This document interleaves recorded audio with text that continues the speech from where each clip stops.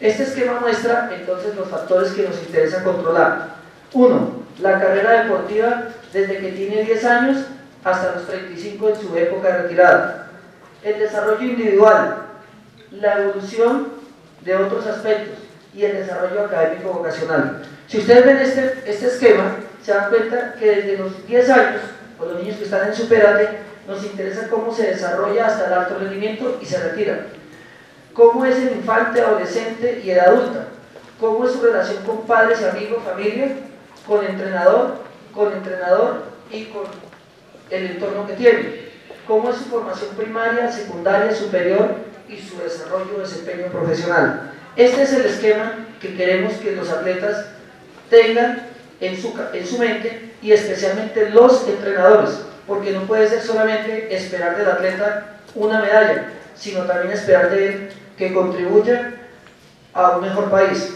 Esta entidad en la cual nos encontramos, el IDRD, en la cual tuve la oportunidad de trabajar, tiene en este momento al menos 50 deportistas vinculados profesional y laboralmente a los proyectos que desarrolla el IDRD. En nuestra dirección, un 70% del equipo nuestro, en, en dos grupos, fueron de Selección Colombia.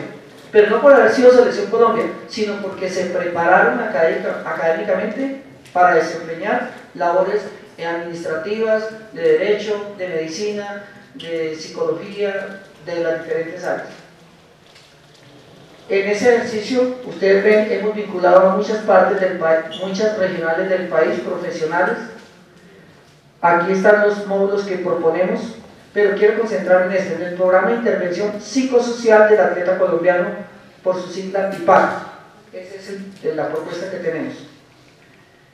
Ahí están los padres que participaron de la propuesta y lo que quiero contarles rápidamente en el tiempo que me resta, 10 minutos, es en qué consiste ese programa de intervención. ¿Qué es lo que deberíamos o esperamos hacer desde el área psicosocial con nuestros atletas?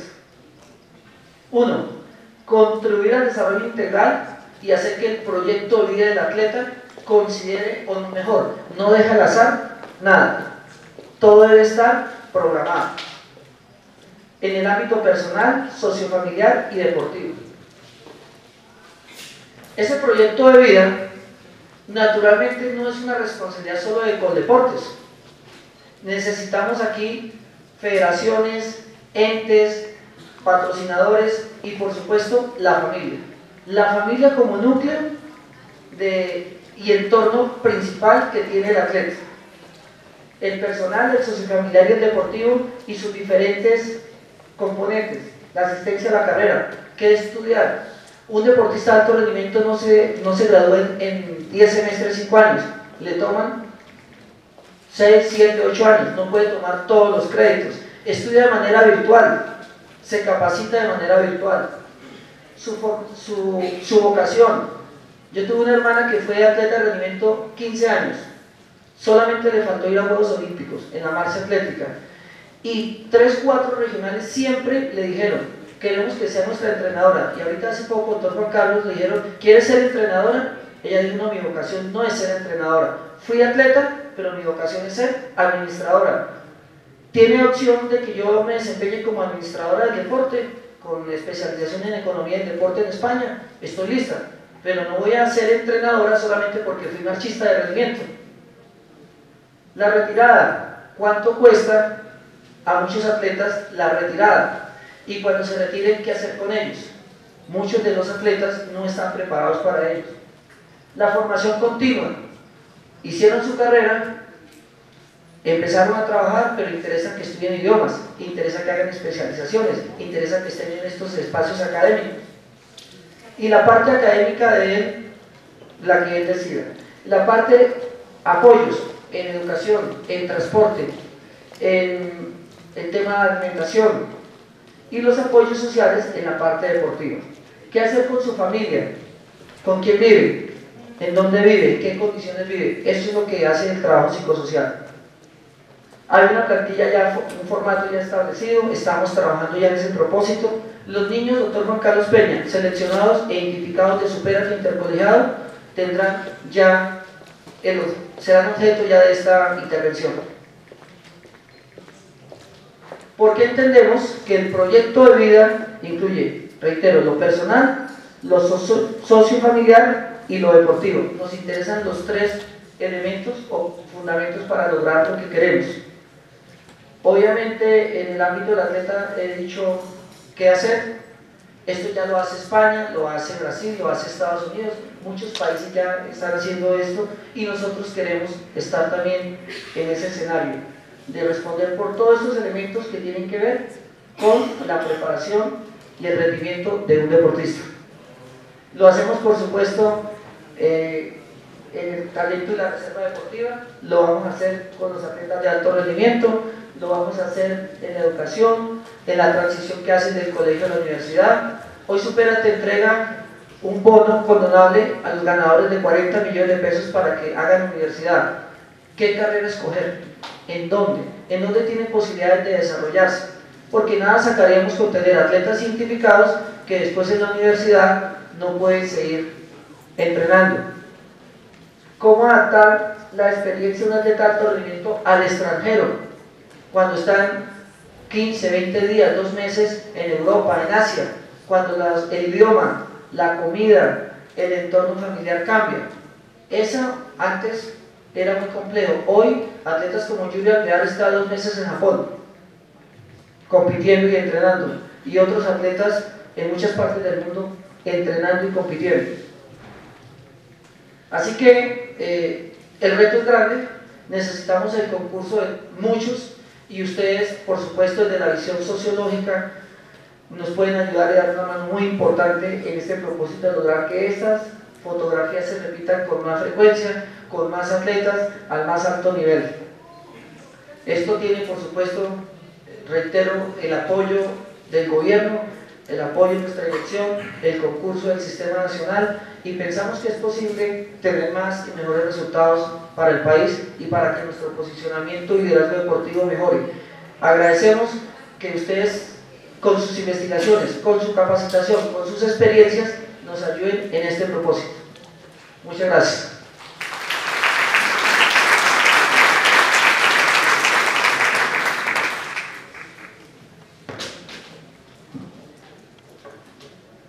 Bueno, muchísimas gracias, doctor Carlos Iván Bermeo. Les queremos recordar que el panel de preguntas para los conferencistas de la mañana será al finalizar nuestra siguiente conferencia.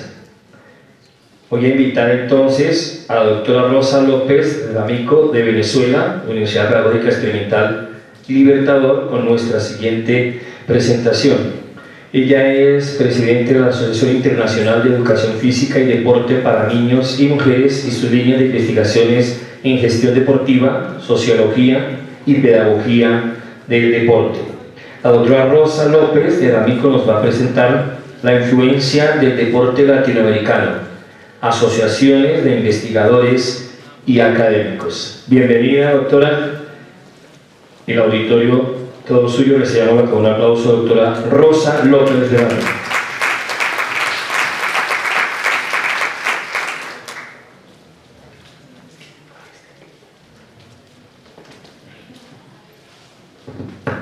D'Amico.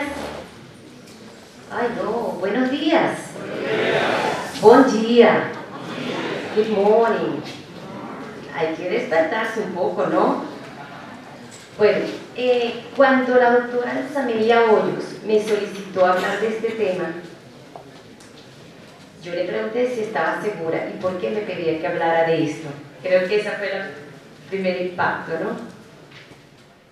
Y es un tema un poco complejo hablar porque tenemos que desnudarnos desde América Latina, un poco a ver cómo lo estamos haciendo en las organizaciones académicas. Y por eso, bueno, le doy las gracias a ella, a nuestra familia de Aleste, que permite abrirnos en estos espacios, y por supuesto a Colombia y a estas tres universidades que hicieron posible con deportes todo este apoyo que hay para que de esta plataforma podamos observarnos y analizar qué estamos haciendo con nuestras organizaciones académicas. Y por supuesto no puedo pararme en esta plataforma y a pesar de esa relación de amor y odio entre educación física y deporte, sin felicitar a los hermanos colombianos por el Mundial de Fútbol y la excelente participación de la Selección Colombia. Entonces, vamos a hablar un poquito del desarrollo de las organizaciones deportivas. La estructura de esta presentación, voy a hablar muy poco de América Latina, luego de las organizaciones académicas, tomando como referencia el Consejo Internacional de Ciencias del Deporte y la Educación Física, posteriormente a nivel de las publicaciones, la globalización, un pequeño video, lo que yo creo, algo que me pareció muy interesante, el riesgo de una sola historia y luego un cierre. Y quiero hablar de esto porque esta región del mundo le da muchos problemas a las organizaciones académicas. Y aquí los representantes internacionales de otras organizaciones le podrán decir por qué. Como esta región es la única que las organizaciones académicas hablamos castellano o si queremos hacer lingüísticamente correcto español, entonces el resto habla inglés en sus organizaciones académicas internacionales. Y eso hace que la visión a nivel internacional es que como que en América Latina no escribimos mucho. Esa es una perspectiva y hemos permitido que nos cambien y nos llamen al continente como sea, Suramérica, y para referirse a todo. Imagínense, quitan un pedazo de México o nos llaman eh, Américas. Mire, Asia, si ustedes ven el continente asiático, está más dividido en pedazos, ¿verdad? Pero usted no ha oído que digan Asias, ¿verdad? Pero si dicen Américas. Y nosotros en el lenguaje lo hemos permitido. Entonces, tenemos que comenzar un poquito por posicionarnos en este aspecto y que, bueno, justamente el hecho del lenguaje ha, permitido esa falsa visión a nivel internacional que nosotros no publiquemos, eh, que no publicamos. Pero además, y yo siempre resalto esto y en cualquier aspecto que me pregunten del nivel internacional, porque muchas veces me preguntan, ¿por qué hasta las siglas de ustedes son, no son en inglés? Y le digo, porque nuestros vecinos todos hablamos español, todos hablamos castellano, portugués, lengua romance. Y esa es la razón. Eso recientemente era una de las explicaciones. Entonces, ¿qué se observa en, en nuestras organizaciones académicas y el desarrollo? Seguimos con lo que es característico y que lo se ha visto en muchos espacios, la educación postcolonial, en donde sabemos más de otras organizaciones externas fuera del continente que de las nuestras. Por ejemplo, hay mayor referencia aquí del Consejo de Ciencias del Deporte Europeo que de lo que pasa muchas veces en América Latina. Y esa es una de nuestras realidades. Pero también aprovecho y este pensamiento de Alejo Carpentier, que es tan precioso, es acerca, bueno, de qué somos nosotros en América Latina. Aquí hay muchos elementos fantásticos, maravillosos, que hay que resaltar, pero lo tenemos que hacer nosotros mismos porque no podemos esperar que otro lo haga. Las organizaciones académicas son un excelente escenario para muchos espacios de compartir, de conexiones, de crecer, las organizaciones académicas tienen una facilidad que no son sindicatos y que pueden desde la investigación aportar sin necesariamente tener que casarse o alinearse con las políticas de Estado. Porque los investigadores cuestionamos, somos críticos, pero al mismo tiempo ellas, las organizaciones académicas, deben ir creciendo para irse posicionando en los diferentes espacios.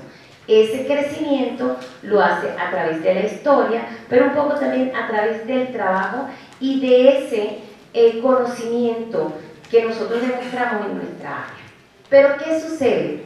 Y este aspecto es muy importante, el conocimiento del sistema. Y el sistema es cómo funcionamos los académicos a nivel regional y a nivel mundial. ¿Cómo hacemos nosotros para ingresar en esos diversos espacios? En, a lo mejor la última declaratoria, MINES, ¿estamos familiarizados con MINES? Sí, los que no estamos familiarizados, que es la mayoría de este auditorio, es es la reunión de ministros y altos funcionarios de gobiernos encargados para la educación física y el deporte. La primera reunión, año 78, y parece que cada 10 años se han ido reuniendo. La última fue en el año 2013, en donde invitaron por primera vez un grupo significativo de investigadores que trabajamos un año antes para diseñar algunas tendencias y a partir de los MINEX hubo una muy famosa en nuestra región que fue MINEX en Punta del Este, Uruguay. Y en esta quinta, bueno, salieron algunos aspectos. Pero de lo más interesante para la academia es que los políticos reconocieran la importancia que tienen las organizaciones académicas para apoyarlo en el desarrollo del deporte en tres vertientes particulares, que son la integridad en el deporte, la participación, la inclusión y la importancia de la actividad física y la educación física. Esos fueron los tres grandes lineamientos que lo dictaron. Pero cuando nosotros observamos los resultados, nos encantó que finalmente se reconociera públicamente que los académicos y los investigadores teníamos un impacto en lo que ellos estaban haciendo y que también dijeran vamos a trabajar en conjunto. Yo voy a hablar del Consejo Internacional de Ciencias del Deporte y la Educación Física y alguien me diría, ¿por qué usted va, por qué escogió ese y no escogió otro? Porque nosotros los académicos por lo general tenemos referentes. Por ejemplo, nuestro referente cuando es publicación, decimos el Science Citation Index, el de ciencia, si es en la región Cielo o Latindex, pero si es de organizaciones académicas, la organización académica que en este momento agrupa la mayor cantidad de organizaciones académicas es el Consejo Internacional de Ciencias del Deporte y la Educación Física, que fue creado en el año 58. Pero además, ellos no solo agrupan organizaciones académicas, también tiene federaciones internacionales de deporte, como FINA y otras, que tienen sus grupos de investigación agrupa universidades que se hacen miembros directamente y grupos de investigación y tiene aproximadamente unas 300 organizaciones. Está reconocida por el Comité Olímpico Internacional, el Comité Paralímpico, estas siglas, ¿verdad? Esta sigla es el, el grupo de trabajo de la UNESCO para la educación física y el deporte, CIGEPS. Entonces, y la UNICEF, ellos son referentes y para algunos que tenían información antes del Congreso Preolímpico y después ICSERIS, también forma parte de ese comité. Entonces, un referente. Ahora, aquí nada más menciono algunas de las organizaciones, son 300, son muchas. Nada más señalo el nombre de algunas que tienen algunos representantes de América Latina en sus organizaciones, que pueden ver la antigüedad, pero ya algunas de ellas han venido a esta parte del mundo. Por supuesto, ISA, que es la que tiene relación directamente con el este. Y sin buscar una que sea más importante que otra, porque hay muchas que tienen una historia bien significativa, ellas de alguna manera, cuando uno revisa desde los 60 hacia acá, son los que han hecho un poquito más de vida en Latinoamérica. A esto, aquí sale un nombre de cualquier cantidad, como les dije, son 300, pero es para que ustedes sepan. Si hay de periodismo, hay una organización. Si hay de quinantropometría, hay una organización, todo. Yo estuve tentada en traducirlas en castellano, esto, y después dije que no, porque así es que aparecen. Y si usted busca la página web, así es que aparecen no aparecen en castellano. Entonces, yo creo que ese es un principio para empezar a darnos cuenta de dónde estamos, cómo estamos nosotros ubicados. Y además de eso, yo también hice el estudio de las organizaciones regionales, pero las que comprenden las ciencias del deporte, la educación física, que son miembros de ISRE. Y usted ve, aquí está la asiática, está la africana, está la europea, está la americana, que para ellos es Estados Unidos y Canadá, ¿dónde estamos nosotros? Son discusiones que hay que hacer, referentes. Y ahí siempre me recuerdo que cuando nos vemos los latinoamericanos, los poquitos que vamos al, Congreso Paralímpico, hoy en día llamado ICEMIS, decimos, ¿y dónde estamos? ¿Por qué no hay latinoamericanos allí, en los grandes eventos académicos de mucha fortaleza? Porque tampoco nos hemos asomado. Entonces, ¿hay algunas organizaciones académicas en Latinoamérica? Por supuesto que sí. Y aquí yo menciono por las que ustedes conocen, otras que se están desarrollando. La FIEP, más que verlo como Sudamérica o Centroamérica, tiene más a nivel de naciones. Brasil, por supuesto, la más grande, le sigue México, el tercero es Argentina, con una característica. Pero a nivel latinoamericano, para desarrollar un área de conocimiento en particular, Así es como está. Y estas otras, las anteriores están desarrollando sistemas de membresía. Muchas de estas no tienen sistemas de membresía. Y a lo mejor valdría la pena mencionar un poquito esto, que quizás es nuestro referente más antiguo de asociación que estuvo trabajando. Lo que sucede es que ellos se quedaron solo en los panamericanos, hacer un congreso panamericano pero no hay una revista o no hay una página web o no hay membresía. Y de alguna manera se perdió esa relación académica que debe haber continuado y unir a los latinoamericanos en una macro asociación como existe en la europea, la africana, etcétera, etcétera. Entonces es importante realizar, revisar eso. Cuando hicimos el estudio de qué organizaciones de Latinoamérica están en IXPE, y vuelvo a insistir, no es que le haga propaganda, porque es el referente, siempre tenemos que tomar un referente, hay solo 10 organizaciones académicas que están de Latinoamérica que están registradas en IXPE, de 300 compañeros, de 300, de los cuales una de México, una de Cuba, una de Venezuela y siete de Brasil. Podemos ser visibles Podemos demandar, queremos publicaciones en castellano. ¿Dónde estamos? Entonces, comunicación es poder. Por supuesto, estamos nosotros conectados desde las visiones de organizaciones académicas. En línea general, muy poco. Y en línea general, en muchas organizaciones académicas, somos una estadística, pero no somos un referente para, para hacer investigación eso hay que establecer una diferencia entre ser una estadística y entre otros ser un referente de personas que trabajan en el área.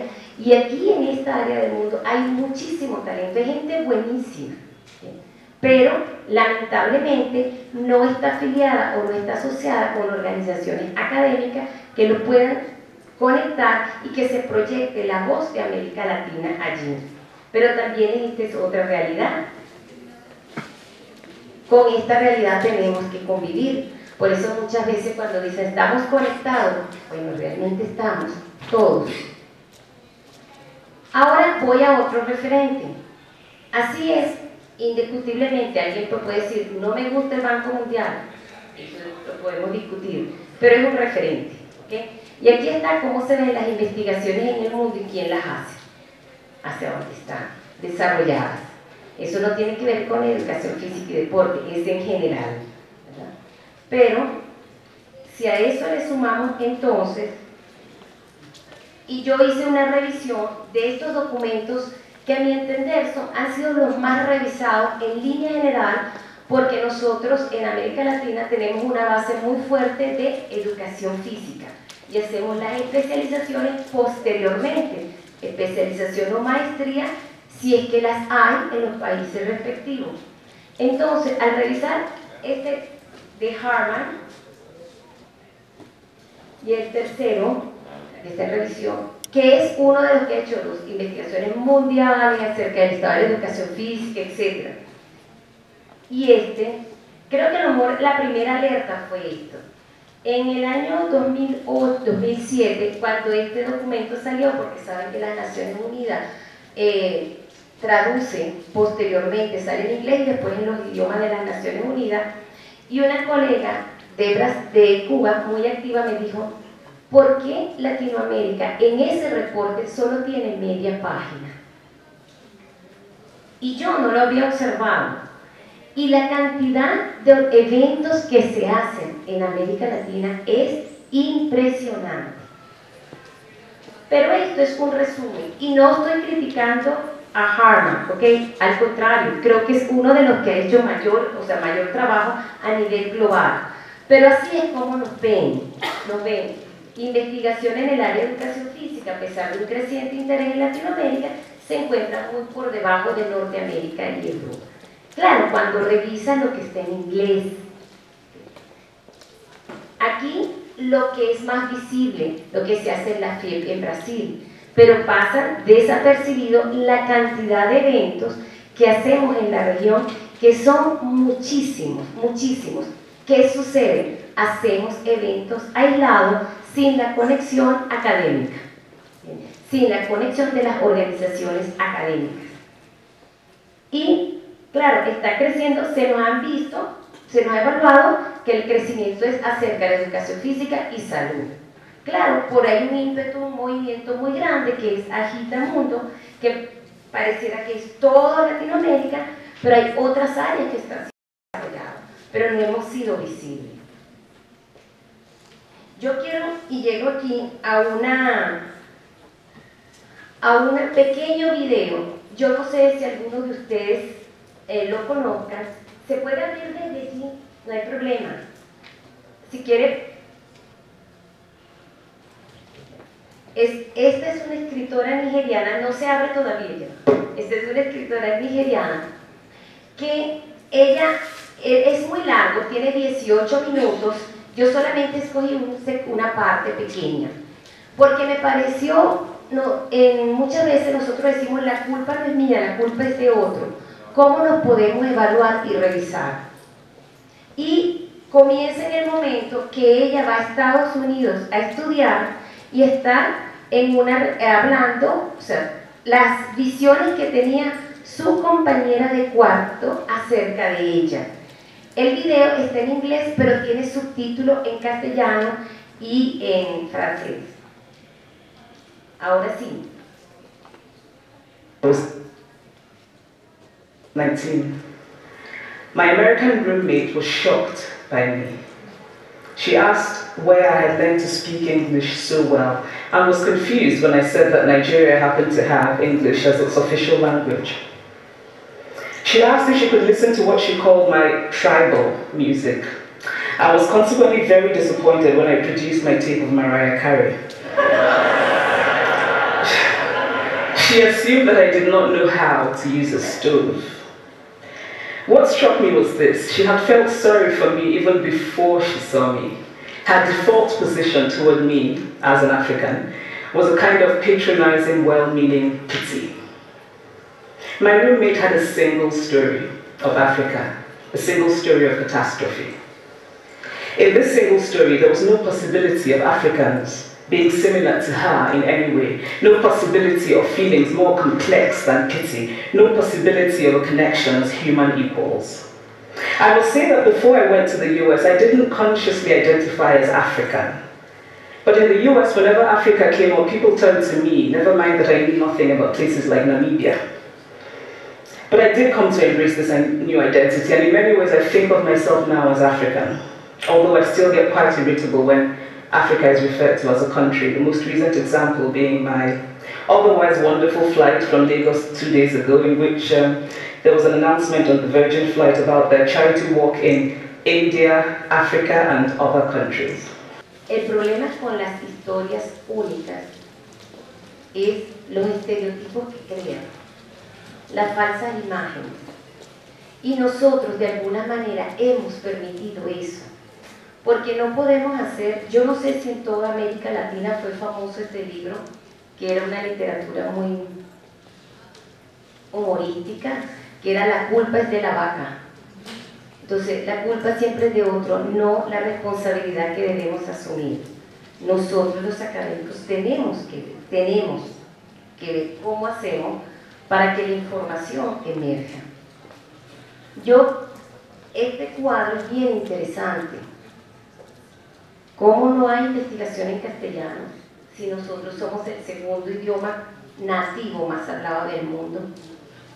el segundo. Y hablo de los idiomas nativos porque cada quien se siente mejor escribiendo en su lengua, que es obvio. Entonces, cuando uno revisa las bases de datos, observa que sí hay la investigación. Hay solo dos idiomas en el mundo que tienen más hablantes, los eh, no nativos que nativos, que son el inglés y el indonesio. El resto, español, es un. Hay una fortaleza allí. Nos hemos dedicado a escribir, a compilar, a organizarnos, hay que revisar. Esta cita de un escrito que hizo Margaret Atwood recientemente, y Margaret Atwood, una de, las grandes líderes en el área de la educación física, presidenta de IXPE, ella señalaba en esa unión que se está tratando de hacer entre la gente de, de la salud, la Organización Mundial de la Salud, y lo que es la, la academia, es que nosotros como ONG, porque somos organizaciones no gubernamentales, no nos hemos unido, no hablamos fuerte y permitimos que otras FIFA, las más grandes, sean las que tengan mayor, los mayores espacios. Entonces, nosotros, por supuesto, tenemos que de alguna manera unirnos para que el discurso que queremos hacer llegar, el mensaje, por supuesto, cale en la, en la sociedad y en los organismos internacionales. Obvio, esto no es fácil y no quisiera, o sea, esta historieta de Mafalda acá, en donde critica, hace una crítica bien interesante y a pesar de lo que señala allí, no podemos permitir que nos sintamos de esta manera y que nadie nos va a escuchar. Al contrario, hay que fortalecerse unidos para ver cómo hacemos que nuestras organizaciones académicas sean un referente sea un referente a nivel internacional. Hay organizaciones que nosotros debemos tocar y que a lo mejor no lo hemos hecho, pero que están allí. el mejor ejemplo a lo mejor lo tiene la Unión Europea y algunos proyectos que se han hecho para educación física y deporte para el desarrollo de la región. Nosotros tenemos que hacerlo, pero también tenemos que aprender a hablar el lenguaje de los políticos tenemos que aprender sin vender nuestros valores, pero hacer investigación y señalarle cómo nuestra investigación tiene un impacto, puede ser significativa. ¿Y por qué lo digo? Porque toda esta gente ya tiene personas trabajando de otras áreas del conocimiento. Y nosotros de educación física y deporte hemos sido muy tímidos o muy, cada quien esfuerzo separado y con esfuerzo separado no impactamos. Y trae a colación, y es muy importante, eh, Latif Amusa como el segundo papá de la educación física en África. Y él lo pueden leer, aquí hay alguien que tenga discapacidad visual. Si no hay, no necesito leer el, la cita. Pero básicamente es que hemos seguido modelos pero esos modelos no necesariamente han hecho desarrollar nuestra, en el caso de, habla de educación física, pero nuestras mismas organizaciones, y ya posteriormente le voy a mostrar. Entonces, en el contexto global, ¿tenemos oportunidades? Sí, tenemos muchísimo, muchísimo. Tenemos mucho que decir, a pesar de que lo que señala la literatura es que tenemos muy poca investigación y que somos el continente que menos miembros tiene registrado en la organización más grande académicamente a nivel mundial. Nosotros tenemos, y yo lo diría así, una fortaleza muy grande en nuestras organizaciones, las organizaciones emergentes, son organizaciones bastante jóvenes que podemos aprender de los otros errores y transformar.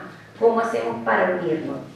Hay gran participación e interés. Nuestra región es una de las cuales la gente asiste no porque tiene una ponencia, pero también porque quiere aprender. Hay otros lugares del mundo en donde los participantes son solo porque tienen una presentación. Y si no tienen una presentación no va. Eso no sucede aquí. Usted puede verlo en un evento, en una universidad o en otro donde reúne 100, 200 o como el caso de México, hay la Universidad Autónoma Manuel León, mil personas y Brasil también cualquier cantidad, asisten muchas personas más allá de que sea por el interés de tener una ponencia.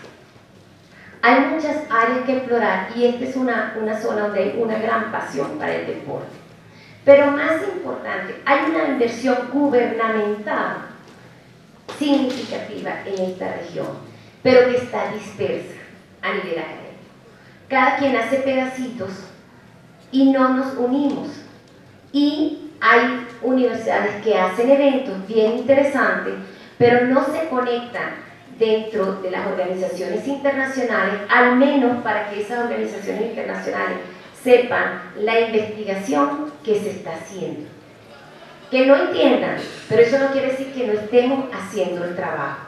Entonces, creo que allí hay una fortaleza bien interesante. Muchas organizaciones internacionales y en otros espacios no tienen, como en nuestros eventos, 12 conferencistas, 14 conferencistas de esa naturaleza. Aquí, esto pasa en esta región, pero porque hay un apoyo, hay que ver cómo unimos esos esfuerzos. La globalización nos da mucho miedo, hay muchos retos, y entonces la gente dice, organizaciones internacionales no nos van a aplastar, etc. Pero las amenazas, las amenazas las tenemos entre nosotros mismos. Parecernos a quién? tenemos que crear nuestra propia identidad dentro de las organizaciones académicas. Nosotros tenemos mucho, y yo les voy a decir una anécdota de este último que se llama PEI, que es el programa de estímulo e investigación que tiene el Ministerio de Ciencia y Tecnología y también lo pueden tener otros países. Y hace como cinco años cambiaron el sistema y las publicaciones que eran en inglés no iban a tener el mismo valor que castellano, las de castellano iban a tener un valor más alto. Y salimos varios académicos y me incluyo. A decir, pero ¿por qué? ¿Por qué está pasando esto? ¿Por qué lo están haciendo? Queremos promover que la gente escriba en inglés. Y nos dieron una respuesta muy sencilla. Había un área de conocimiento, biología, y que no, a lo mejor no tiene relación con esto, pero esto es una realidad, que los investigadores registrados el 90% de sus publicaciones eran en inglés, solo 10% en castellano. ¿Cómo ayudaba a fortalecer la literatura en castellano? No había forma, o sea, imposible. Entonces había que cambiar el sistema de evaluación. Cuando dijo eso, realmente sentí vergüenza y dije, bueno, la verdad que hay que revisar, si pareciera, porque pareciera que nosotros, nuestros académicos, lo hacíamos en inglés porque queríamos que nos vieran afuera y queríamos ser atractivos e irnos a trabajar afuera más que en la propia región. Entonces, eso es, cuando digo, una amenaza, pero está dentro de nosotros mismos. O que queramos que nuestras organizaciones se parezcan a otras existentes en otras regiones. Nosotros tenemos que servir a los intereses de la región, las organizaciones académicas. Porque si no, no vamos, vamos a seguir los intereses de otro. Y le coloco el ejemplo, dos ejemplos. Uno, ¿por qué las siglas de nuestras organizaciones tienen que ser en castellano? Cuando me preguntan a nivel internacional, porque todos nuestros países vecinos hablan castellano. Entonces dice, pero es que lo hace muy difícil para nosotros los que hablamos inglés. Bueno, y la historia ha sido tradicionalmente que nosotros no nos comunicábamos ni siquiera nosotros mismos. Por eso que eso tenemos que verlo como una posibilidad que se transforme en una fortaleza para nuestras organizaciones.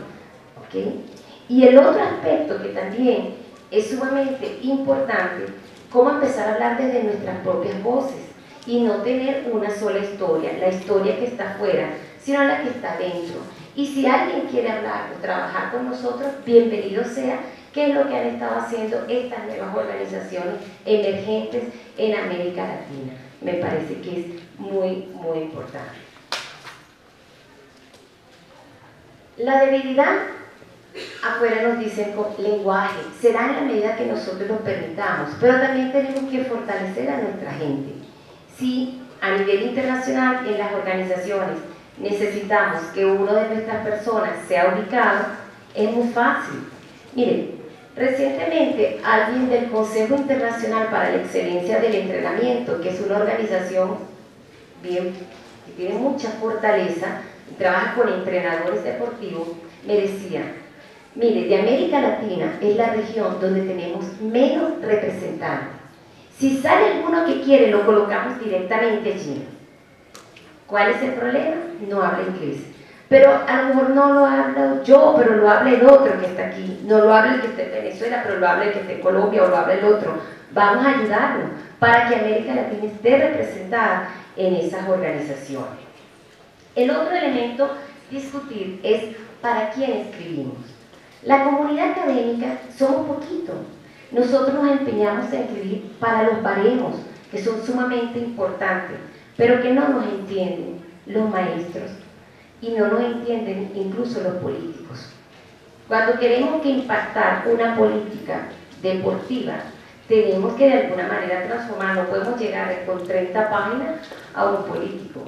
Vamos a resumirlo y hacemos en una página para que tenga un impacto. Tenemos que manejar esos escenarios. El otro escenario que tenemos que manejar, cuando nosotros vamos a trabajar con una revista, vemos cuántas revistas tenemos en la zona de esa naturaleza.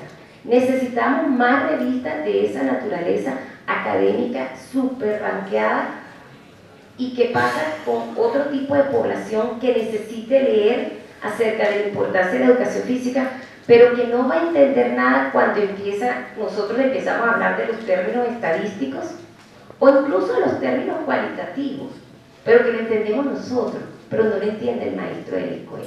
Entonces, nuestras organizaciones tienen que ver, pero cómo evaluamos, hacia quién, para quién escribimos, porque quiero, queremos llegar a una población mucho más grande.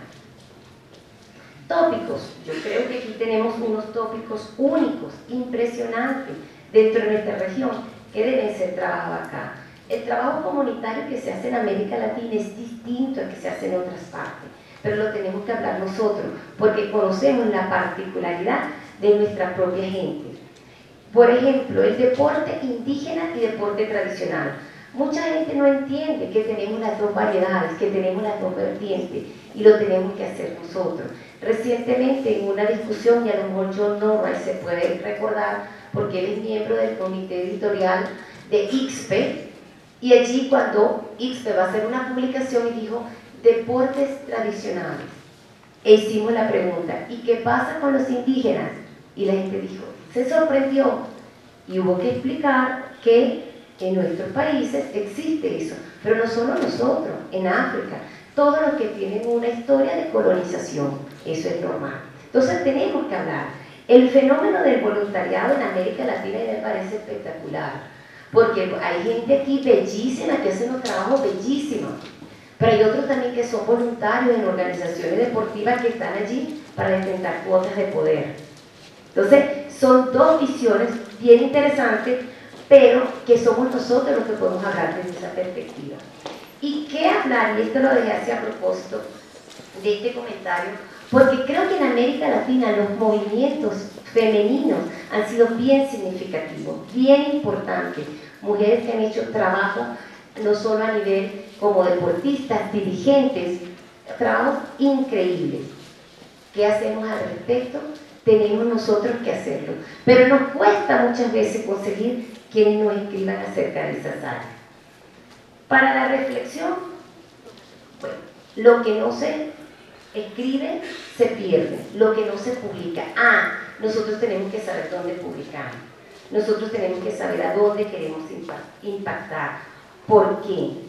Tenemos que, tenemos que hacer ese análisis, ese estudio, a lo mejor dentro de nuestros países y las organizaciones que son regionales, como las que están presentes acá, también hacer, bueno, hacia dónde queremos nosotros impactar. Por ejemplo, si alguien me dice Bolivia, yo diría, y aprender, no, mire, yo soy de Latinoamérica, pero yo no sé de Bolivia, de educación física, o sea, aprender a decirle a la gente eso, porque el ejemplo que decía ella, de que se confunde a África a veces con un país, también pasa con Latinoamérica y les digo más a menudo de lo que nosotros creemos. También el otro elemento interesante, participar en eventos académicos, es proyectar al país, es proyectar una nación. Nosotros también tenemos que hacer que nuestros entes que nos apoyan comprendan eso. Porque no es solo proyectar a la universidad y a cada quien, pero también somos embajadores cuando vamos a diversos espacios a hablar de diferentes experiencias. En algunos espacios, y a lo mejor le ha pasado a algunos de ustedes, ustedes son el único referente de América Latina. Entonces decimos, ¿por qué no hay más? Y hay esfuerzos, claro que sí, pero muchas veces dispersos. Al observar las organizaciones, cada quien tiene que hacer un análisis. ¿Las organizaciones son políticas? Claro que sí, pero es que el ser social es político por naturaleza. Entonces, todas, pero tenemos que revisar, bueno, ¿a cuál queremos estar? ¿Cuál es nuestra área? Organizaciones hay muchas, pero tenemos que revisar, bueno, ¿cuál sirve nuestros intereses? Muchas gracias, obrigada.